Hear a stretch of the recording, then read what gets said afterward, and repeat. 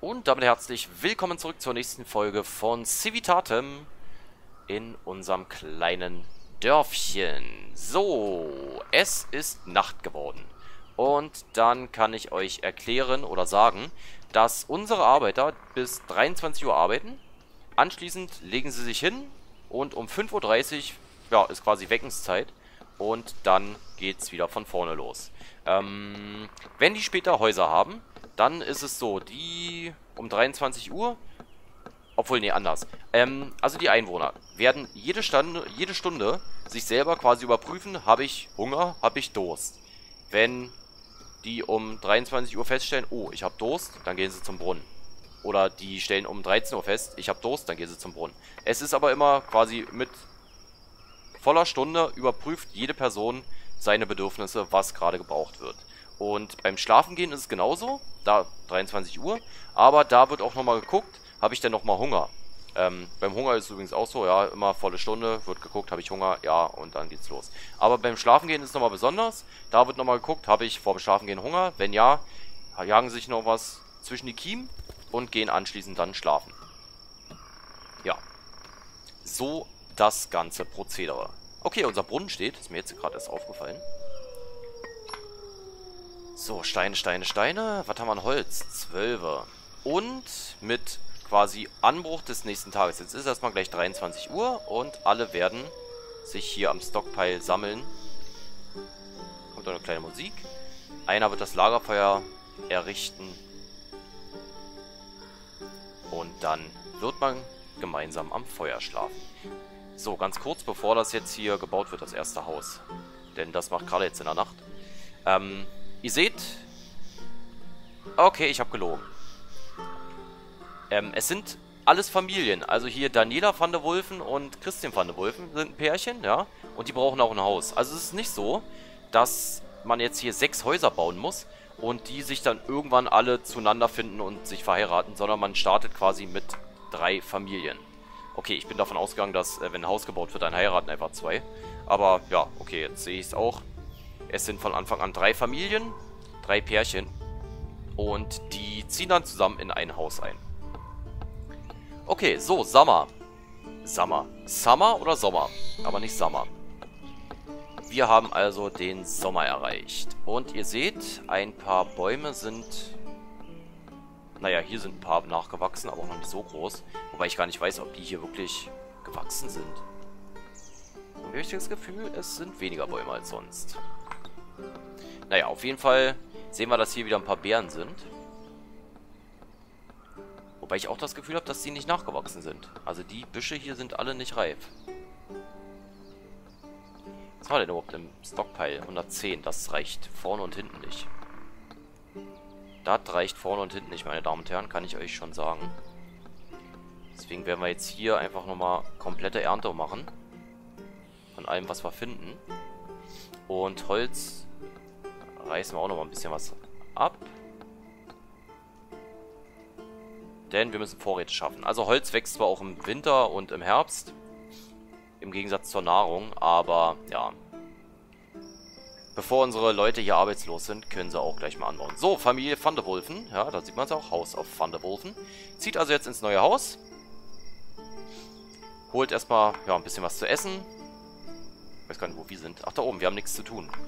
Wir könnten natürlich schon mal ein weiteres Haus bauen, denn wir haben ja mehr Familien. Deswegen sieht auch ein bisschen optisch anders aus. Bauen wir das nächste Haus mal hier hin. So, denn das ist jetzt das nächste, was ich machen will. Ich will erstmal alle Familien unter einem Dach haben. Und dementsprechend wird Kralle jetzt hoffentlich... Okay, was macht er? Achso, er läuft einfach nur rum. Aber eigentlich solltest du jetzt Holz und so weiter sammeln und Steine und die hier bringen. Ja, unsere Frau, die füllt noch das Häuschen auf. Mit Vorräten. Genau, Wasser wird nämlich auch geholt. Dann müssen wir nicht immer zum Brunnen laufen, sondern können uns dann hier auch in unserem Häuschen mit Wasser versorgen. Genau, 10 Stück. Ich glaube, sie wird nochmal loslaufen. Und wahrscheinlich nochmal was zu essen holen. Some of your what? Ich habe die Nachricht nicht gelesen.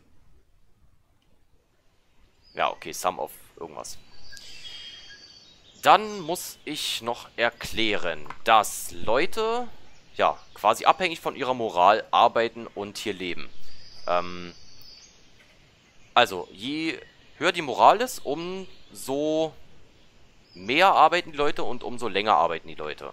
Ähm, deswegen sollte man immer darauf achten, dass die Moral bei allen hoch ist. Ähm, ja, dazu muss man halt die drei Sachen hier mal so weit oben wie möglich halten.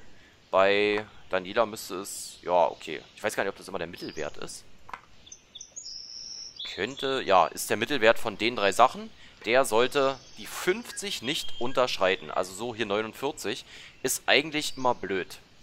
Denn es ist so, dass nach... Quasi nach Ende des ersten Jahres können uns Leute auch verlassen. Ähm, bis dahin haben wir so ein bisschen Schutzfrist. Also das erste Jahr, ähm, da ist die Moral noch so ein bisschen unwichtig. Ab dem zweiten Jahr ist es so, dass wenn Moral unter 50 ist, uns die Leute verlassen können. Ähm, und je weiter sie unten ist, umso höher ist die Wahrscheinlichkeit, dass uns die Leute verlassen.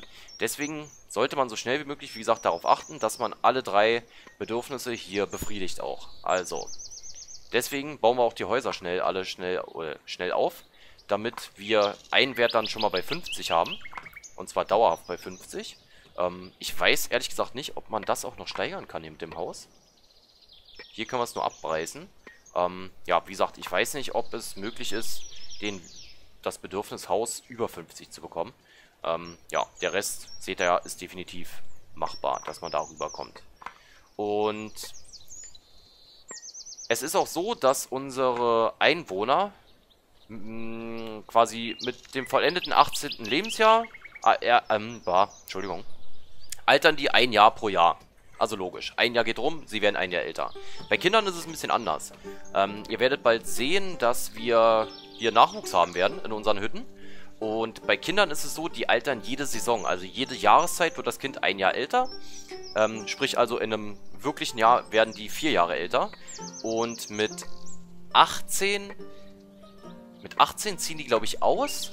Und dann altern sie wieder pro Jahr. Also nicht viermal, vier Jahre im Jahr, sondern nur ein Jahr im Jahr. Also, ja, ihr wisst, was ich meine.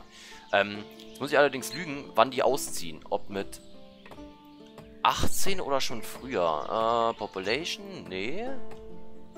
Basic Needs? Äh, irgendwo hier stand das. Ne, hier ist nur die allgemeine Erklärung. Ich glaube, das war später irgendwann. Ah, Skills and Attributes. Misk.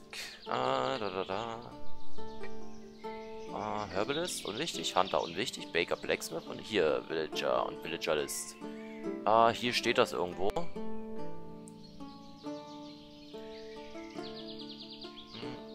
Ja, ich habe es auf jeden Fall irgendwo gelesen. Ich suche euch das raus und sage euch das in der nächsten Folge. Ähm, ich will jetzt nicht hier die 15 Seiten nochmal durchlesen. Aber also meiner Meinung nach, ab 18 Jahren ziehen die aus in ein eigenes Wohngebäude. Ähm, und wenn man einen weiblichen und einen männlichen Einwohner hat, der zufällig oder die zufällig Single sind, dann heiraten die und machen neue Kinder und neue Familien. Ja. Also wie im wahren Leben. Gut, dann dritte Haus haben wir. Noch nicht. Möchte ich sagen. Und dann machen wir es hier hin. Ich mache das jetzt nicht... Also ich habe beim ersten Mal wo ich es gebaut habe, habe ich hier immer einen Reihen gebaut und geguckt, dass sie alle so beieinander passen. Ähm, ist mir jetzt egal. Ich baue jetzt hier querbeet. Ja, so wie man früher auch wahrscheinlich eher gebaut hat. Da waren es keine Planquadrate wie heutzutage in New York oder so weiter. Und deswegen mache ich das mal so. Okay, dann setzen wir ein paar Wege. Auf Wegen ist es aus irgendeinem Grund wie in jedem anderen Aufbauspiel oder in vielen anderen Aufbauspielen. Man bewegt sich deutlich schneller auf Wegen. Ich hab's, oh, ich weiß gar nicht, welches Let's Play das war. Aber in irgendeinem Let's Play auch schon mal gesagt. Also mir ist nicht bewusst, dass ich auf einer Wiese langsamer laufe als auf Asphalt. Ist mir persönlich noch nicht aufgefallen, dass ich auf Asphalt doppelt so schnell laufe wie auf einer Wiese. Ich weiß nicht, wie es bei euch im Leben so ist, aber ich laufe eigentlich fast überall gleich schnell. Gut, außer am Wasser vielleicht. Ähm, oder in ganz hohem Gras, wenn ich wahrscheinlich die ganzen Büsche im Gesicht habe, dann laufe ich auch nicht so schnell. Aber auf einer Wiese laufe ich genauso schnell wie auf dem Weg. Und auf einem Dreckweg laufe ich genauso schnell wie auf einem Asphaltweg. Ähm, deswegen verstehe ich immer nicht, warum in den ganzen Aufbauspielen so ein Hype um Straßen gemacht wird und warum das so einen Effekt hat, weil es ist nicht realistisch, finde ich. Aber gut, ja, ist meine Meinung. Aber hier ist es auch so, dass wenn man Wege baut, und die verbrauchen keine Ressourcen, sondern die werden einfach so gebaut, ähm, dann bewegen sich die Leute hier schneller als über die Wiese. Oder über Dreck hier. Ja. Wie gesagt, aus welchen Gründen auch immer. Okay, so, Haus 2 steht. Hier ist Familie Bot eingezogen. House of Bot. Genauso wie meine Abonnenten. Alles Bots. Nein. Spaß. Ich danke euch allen. So, wir haben keine Ressourcen. Ähm, ich könnte eigentlich auch mal einen von euch zum Gatherer machen. Herzlichen Glückwunsch, du wirst Gatherer. Oder du wirst Miner? Und mal gucken, haben wir hier noch einen? Nee, naja, obwohl, es geht sogar. Okay, dann wirst du mal bitte... Ach, egal. So, komm, Amigo, du bist Gatherer.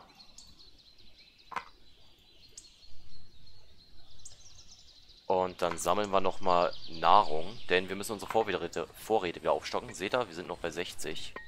Holz wird hoffentlich immer noch gefällt. Ja, die Wege sind natürlich jetzt ein bisschen weiter als sonst.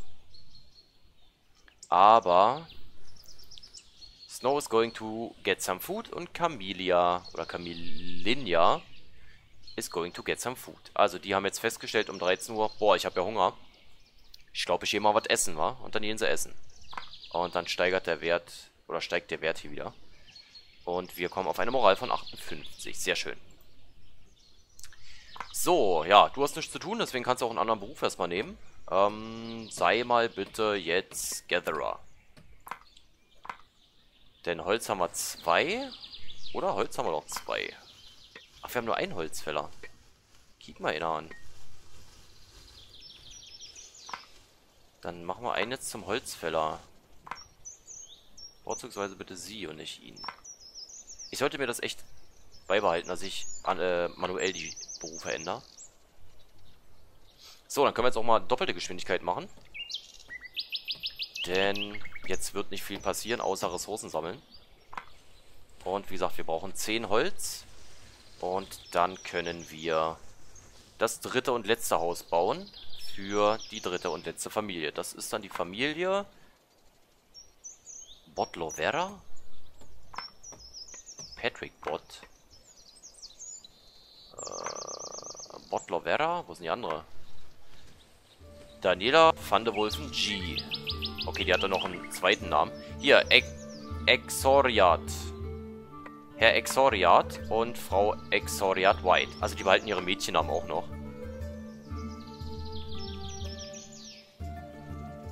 Was aber nicht wichtig ist, denn auch in der Übersicht wird, glaube ich, nur der Nachname angezeigt. Genau.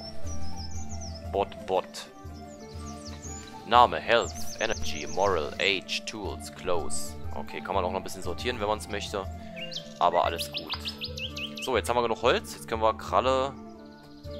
Äh, wenn wir ihn finden... Nee. Wo ist er denn? Da. Du bist mal bitte wieder Baumeister. Und sehr schön. Die Speisekammer füllt sich. 190 ist... Naja. Könnte knapp werden bis zum nächsten Frühling.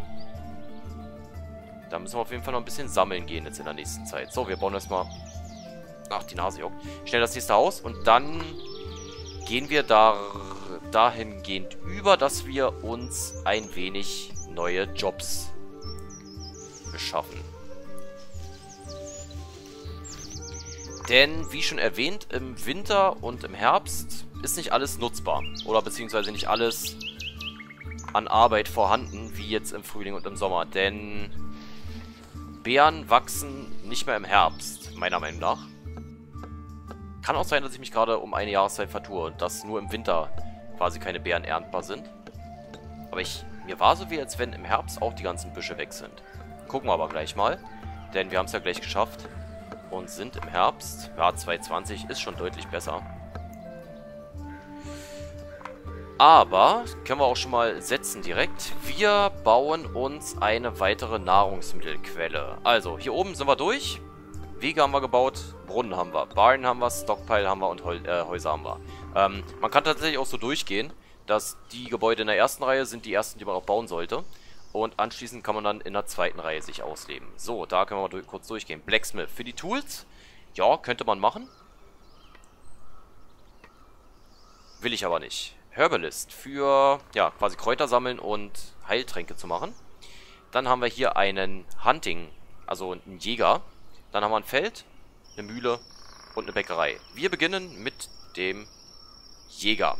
Denn der bringt uns eine neue Nahrungsquelle ein, nämlich Tiere zu jagen und dementsprechend dann Fleisch. Und... Ja, nur Fleisch. Ach nee, und äh, Klamotten. Aber dazu komme ich dann gleich. So, bauen wir erstmal hier dann noch den Jäger hin. Den Hunter. So, da haben wir auch das nächste und letzte Haus. Sehr schön. Damit haben Ende des Sommers alle Menschen Arbeit, äh, quasi ein Dach über dem Kopf. Und wir haben alle Grundbedürfnisse von sämtlichen Einwohnern gestillt. Sehr schön.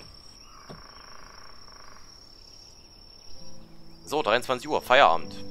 Villagers are going to sleep. Hier so, jetzt schläft nämlich keiner mehr vor der Haustür. Oder vor dem Stockpile.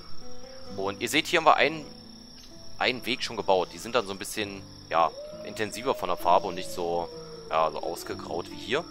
Ähm, und hier würde sich schneller drüber bewegt werden als über den normalen Boden. Genau, da seht ihr. Es gibt zwar noch Bärenbüsche, aber die sind alle nicht mehr reif. Deswegen ist das leider alles, ja, nicht mehr nutzbar für uns. Und wir können sagen, wir machen aus unseren zwei Gatherern dann in am nächsten Morgen ähm, was anderes. Nämlich, ja, wahrscheinlich Holzfäller und Minenarbeiter. Okay, hier heulen irgendwo Wölfe. Aber es ist nur quasi in der Musik und nicht hier auf unserer Karte. Ich war ein wenig erschrocken gerade.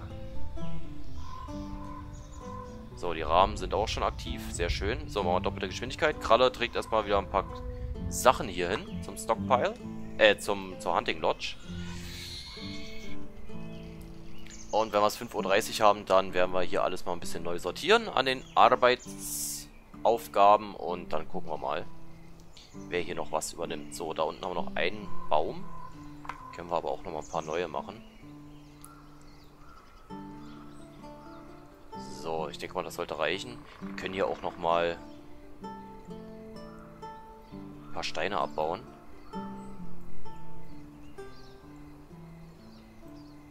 So, hier dürfen keine mehr... Nach, hier unten haben wir noch ein paar Steine. So, 5.30 Uhr. Okay, dann gehen wir mal durch die Leute durch. Also, wir haben Gatherer. Die werden eingestellt. Und dann gucken wir mal. Auf V kann man sich, glaube ich, Arbeitslose angucken lassen. Äh, anzeigen lassen. So, du bist mal bitte Miner.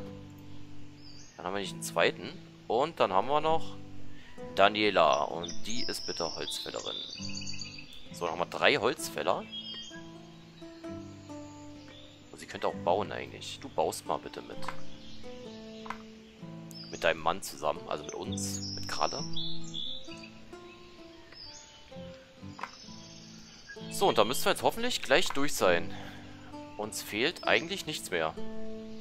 Zwei Holz, aber die kommen jetzt noch. Und dann haben wir alle Sachen... Ach nee, wir brauchen noch fünf Steine. Alles klar. Aber die haben wir zum Glück auch noch. So, Stockpile von 120, das ist sehr wenig. Okay, und das Problem ist nämlich auch, dass Nahrung verrottet, also, oder spoilt, ähm, verdirbt. Und dementsprechend, ja, sollte man auch im Winter Nahrung nachjustieren, beziehungsweise Nahrung sich besorgen. Und das machen wir jetzt mit dem Hunter. Der wird nämlich dann hier auf Jagd gehen und die kleinen Rehe hier jagen. Und aus diesen dann ein bisschen Fleisch prügeln und das Fell sich nehmen. Denn im Winter, da wird es sehr kalt und unsere Einwohner sind im Winter, ja, die frieren relativ schnell. Und deswegen sollte man sich ein paar Klamotten machen. Und das macht man auch hier in dieser Hunter Lodge. Nämlich der Hunter, der wird erstmal Tiere jagen. Und von jedem Tier gibt es quasi ein Fell. Und aus dem Fell, da kann man dann wiederum Klamotten machen. Seht ihr hier auch ganz gut. Wir sagen mal, ich glaube, Krall habe ich, genau, den habe ich extra zum Melee gemacht. Genau aus dem Grund nämlich. So, du bist jetzt Hunter. Dann sagen wir, jage mal bitte, weiß ich nicht, fünf Rehe. So, dann wird er jetzt hoffentlich gleich losrennen und Rehe jagen gehen. Wir bauen in der Zwischenzeit schon mal das nächste Gebäude, denn wir bereiten uns schon mal auf die nächste Jahreszeit vor. Und zwar machen wir das mit einer, mit einem Feld. Und zwar würde ich die Felder gerne hier hinbauen. So, dann machen wir hier noch einen Weg runter zu dem Feld. So, dann haben wir hier so einen kleinen Wege. Und wir können mal gerade ein bisschen beobachten. So, mal. Er geht jetzt zu irgendeinem Reh und versucht das jetzt zu schießen. So. Okay, diesmal ist gerade eigentlich relativ geübt. Beim ersten Mal hatte ich einen Wert von, ich glaube, so Mitte 20 und der hat einfach nichts getroffen. Also es hat Jahrhunderte gedauert, bis der mal ein Tier erlegt hat. So. Jetzt bin ich mal gespannt, wann er hier loslegt. Eigentlich müsste er jetzt demnächst anfangen, Tiere zu jagen. So, jetzt. Äh, jetzt sucht er sich ein Reh aus.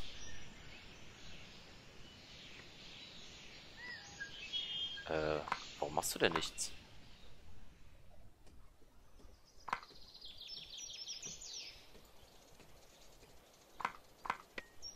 So, fünf Stück.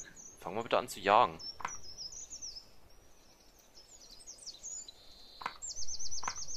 Okay, irgendwie macht das nicht. Ja, wie gesagt, Alpha. Also kann sein, dass das hier noch ein bisschen verbuggt ist.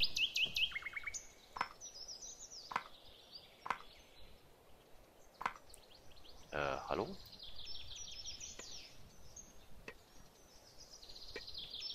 Okay, jetzt bewegt er sich wieder. So, jetzt sage ich ihm, dass er... Jetzt fängt er an. Okay, er war, hat gerade irgendwie festgesteckt. So, aber jetzt geht er auf Jagd. Und versucht hier sein Glück. Okay, er ist deutlich besser als beim ersten Mal. Ja, deutlich besser. Also beim ersten Mal hat das Jagen von Rehen wirklich richtig, richtig lange gedauert. Da habe ich schon gedacht, er wird nie fertig. Das sieht ein bisschen pervers aus, muss ich sagen.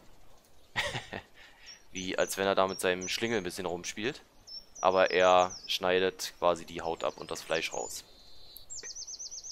So. Komm, werd mal fertig. Und dann werden wir gleich sehen, dass hier einmal Leder ankommt und das Fleisch, das wird dann hier in die Bahn gepackt. So. Feld, okay, wird nebenbei gebaut, sehr schön. So, der schneidet und schneidet und schneidet. Ja, weil als Sieger ist er natürlich erstmal noch so eine Pfeife. Also erlegen kann er sie ganz gut, aber ja, kaputt schneiden, das nimmt ein bisschen mehr Zeit in Anspruch. Aber jetzt hat er es geschafft. Und ja, hat auch gleich mal seine Fähigkeit verdoppelt. Sehr schön. So, da läuft er mit der Schenkel oder mit der Keule rum. Die wird jetzt hier abgeliefert. Ein Reh bringt fünf Fleisch, ist nicht ganz so viel. Ähm, sättigt aber meiner Meinung nach einfach besser. Und jetzt hat er auch noch nebenbei ein einmal Fell quasi von dem Reh, was er hier auch sammelt. Das ist sehr wichtig. So, aber es geht erstmal weiter. So. Okay, jetzt hat er zwei, dreimal ziemlich daneben geschossen.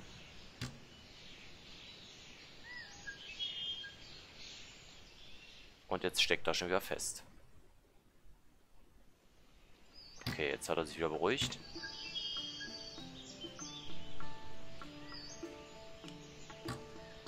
Okay. Sehr schön. Jetzt hat sich quasi freiwillig ergeben und ist in uns äh, reingelaufen. So, gut, okay. Dann machen wir erstmal Feierabend für die zweite Folge von ähm, äh, Civitatem, natürlich. Jetzt äh, war ich ganz kurz auf dem Schlauch gewesen. Von Civitatem. Ja, das also war's mit Folge 2 in der nächsten Folge. Und ich hoffe, dass wir dann ähm, auch noch genug Einwohner haben, wenn der Winter vorbei ist und es Richtung Frühling geht. Dann schauen wir mal. Ähm, ja, schauen wir auch, wie es weitergeht und würde mich freuen, wenn wir uns dann in der nächsten Folge wiedersehen würden. Also bis dahin sei jetzt mal vielen herzlichen Dank. Haut rein, ciao und tschüss.